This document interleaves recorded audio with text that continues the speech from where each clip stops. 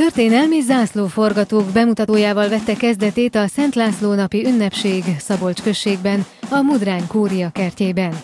A megnyitón Csegei László polgármester köszöntötte a vendégeket, majd egy bejelentést is tett. Mai naptól megváltozik a településnek az ünnepi naptára, és Szent László királyunk június 27-én való megünneplését visszaadjuk egyházi ünnepnek hiszen a szentek ünneplése az egyházi kategória, és a civilek azok innentől kezdve a május 20, 20-ai megyenapon az 1092-es zsinat évfordulóján fogják ünnepelni Szent László lovak királyunkat.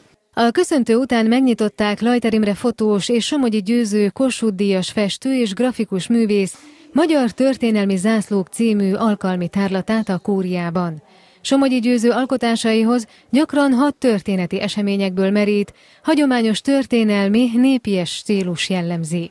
Ez a hármas kiállítás egyrésztről a grafikáinak a sorozata, a másik azok a rendezvények, amiken mi területesen, mint hagyományőrzők vonulunk, az ő zászló és az ő munkássága által rekonstruált viseletekben, egyenruhákban és a harmadik pedig maga azok a zászlók, amiket nekünk ő maga készített. A vendégek ezután zenés középkori díszfelvonulással érkeztek Szent László király szobrához, ahol a résztvevők elhelyezték az emlékezés koszorúit, majd bevonultak az 1092-es Szabolcsi Zsinat és Törvényhozó Országgyűlés helyszínére.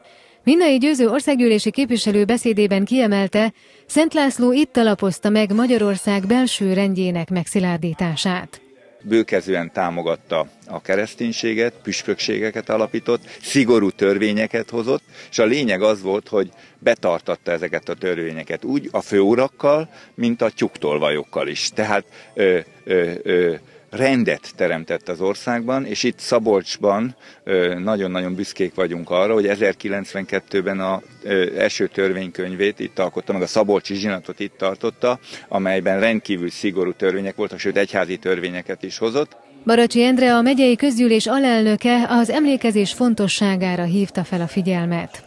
Szent László egy olyan emblematikus figurája a megyének, amelyre mindenképpen emlékeznünk kell, és fenn kell tartanunk azt a hagyományt, amelyet ő teremtett eh, számunkra, és amelyről híres lett szabolcs már Bereg megye. És ezért nagyon fontos az, hogy minden évben megünnepeljük Szent László ünnepét, és emlékezzünk rá. Szent László volt a magyar történelemben, aki a Szent Istváni életművet továbbvitte, megszilárdította a királyság hatalmát és javította a közerkölcsöt.